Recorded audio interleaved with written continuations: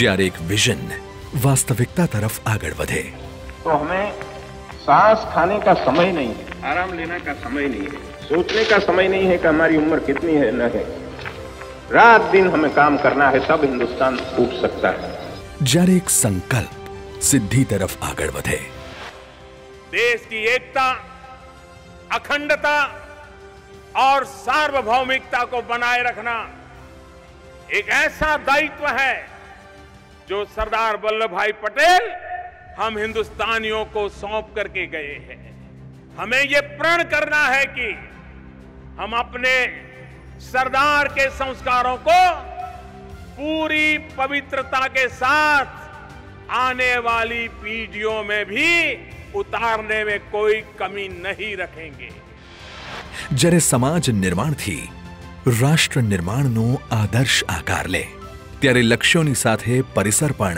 એટલું જ વિશાળ હોય છે. જેનું ઉત્તમ ઉદાહરણ છે સરદાર ધામ. સમાજ નિર્માણથી રાષ્ટ્ર નિર્માણનો સંકલ્પ. રૂપિયા બસો કરોડના અંદાજિત ખર્ચ પર બનેલું આ વિશાળ બિલ્ડિંગ દીકરીઓને બનાવશે આત્મનિર્ભર અને દીકરાઓને દોરી જશે ઉજ્જવળ ભવિષ્ય તરફ. અહીંયા આંગળીના ટેરવે હશે દુનિયાભરનું જ્ઞાન. અને પુસ્તકો બનશે સાચા રાહબર. ઉપરાંત સરદાર ધામમાં દરેક દીકરી માટે તમામ સુવિધાઓ ઉપલબ્ધ છે વિના મૂલ્યે.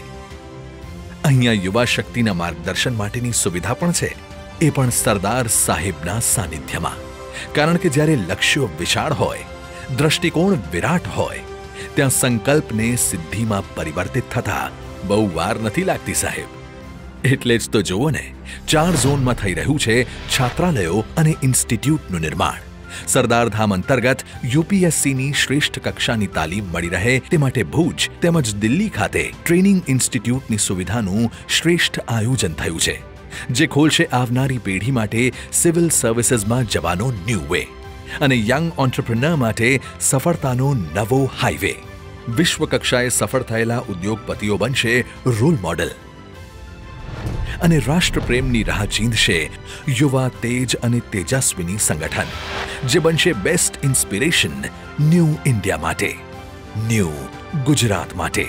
સર્વ સમાજને સાથે લઈને સમાજ નિર્માણથી રાષ્ટ્ર નિર્માણ કરવા માટે સંકલ્પબદ્ધ છે સરદાર